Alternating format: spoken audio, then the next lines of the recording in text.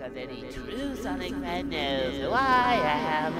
And we all know what happens when I'm around. You know, because of a tail doll.